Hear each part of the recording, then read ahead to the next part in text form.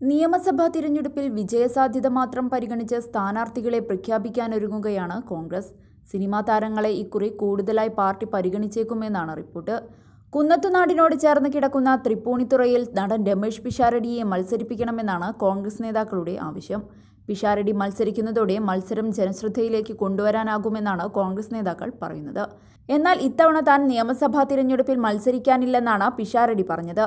തൃപ്പൂണിത്തുറയിൽ സ്ഥിരം താമസക്കാരനായ നടനെ മണ്ഡലത്തിൽ മത്സരിപ്പിക്കാൻ സമ്മർദ്ദം ചെലുത്താനുള്ള നീക്കത്തിലാണ് ഒരു വിഭാഗം കോൺഗ്രസ് നേതാക്കൾ. കഴിഞ്ഞ ദിവസം ഐശ്വര്യ കേരള യാത്രയിൽ ഹരിപ്പാട് വെച്ചായിരുന്നു പിഷാരടി കോൺഗ്രസിൽ ചേർന്നത്. അതേസമയം സി പി എമ്മിലെ യുവനേതാവായ എം സ്വരാജാണ് മണ്ഡലത്തിലെ എം എൽ എ.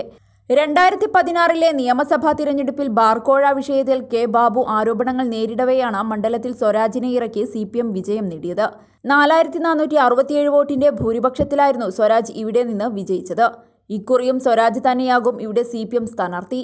എന്നാൽ പിഷാരടിയുടെ ജനപ്രീതി വഴി മണ്ഡലം തിരിച്ചുപിടിക്കാൻ കഴിയുമെന്ന് ഒരു വിഭാഗം കോൺഗ്രസ് നേതാക്കൾ കരുതുന്നുണ്ട്. അതേസമയം നടന്മാരെ മത്സരിപ്പിക്കുന്നതിലൂടെ മുതിർന്ന നേതാവ് കെ ബാബുവിനെയും ശശീന്ദ്രനെയും ഒതുക്കാനുള്ള ഒരു വിഭാഗത്തിന്റെ നീക്കമായാണ് വിലയിരുത്തപ്പെടുന്നത്. തൃപ്പൂണിത്തുറ സീറ്റിനായി മുൻമന്ത്രി കെ ബാബു തന്നെ സജീവമായി രംഗത്തുണ്ട്.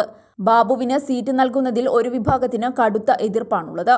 ബാബു അല്ലെങ്കിൽ D C C general secretary A B സാബുവിന്റെ പേരും പരിഗണിക്കുന്നുണ്ട്. സീറ്റിനായി സാബു ചരടുവലികൾ ശക്തമാക്കിയിട്ടുണ്ട്. അതേസമയം നടൻ ധർമ്മജൻ ബോൾഗാട്ടിയെ ഇത്തവണ ബാലുശ്ശേരിയിൽ നിന്ന് മത്സരിപ്പിച്ചേക്കുമെന്ന് റിപ്പോർട്ടുകൾ ഉണ്ടായിരുന്നു. എന്നാൽ ബാലുശ്ശേരിക്ക് പകരം കുന്നത്തുനാട്ടിൽ ധർമ്മജനെ മത്സരിപ്പിക്കാനാണ് പാർട്ടി നീക്കം എന്നാണ് ഇപ്പോൾ കേൾക്കുന്നത്. കോൺഗ്രസ് സഹയാത്രികനായ നടൻ ധർമ്മജനെ എറണാകുളം ജില്ലയിൽ നിന്ന് തന്നെ മത്സരിപ്പിച്ചേക്കുമെന്നായിരുന്നു ആദ്യം റിപ്പോർട്ടുണ്ടായിരുന്നത് ധർമ്മജന്റെ സ്വദേശമായ ബോൾഗാട്ടി ഉൾപ്പെടുന്ന വായ്പിൻ മണ്ഡലത്തിൽ നടനെ പരിഗണിക്കുന്നുണ്ടെന്നുള്ള അഭ്യൂഹങ്ങളും ഉണ്ടായിരുന്നു. പിന്നാലെയാണ് ഇടതുകോട്ടയായ ബാലുശ്ശേരിയിൽ നടൻ മത്സരിച്ചേക്കുമെന്ന തരത്തിലുള്ള വാർത്തകൾ വന്നത്. ബാലുശ്ശേരിയിൽ മത്സരിക്കാനുള്ള സന്നദ്ധത ധർമ്മജൻ പരസ്യമായി പ്രകടിപ്പിക്കുകയും ചെയ്തിരുന്നു.